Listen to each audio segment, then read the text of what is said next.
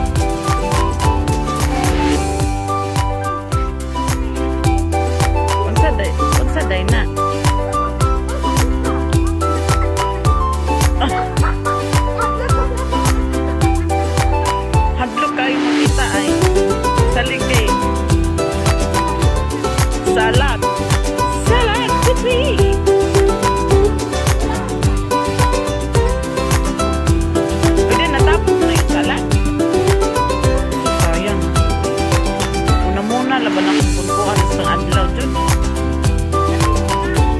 Nakalimutan kasi, tapos ginagahapon, kalimutan na din.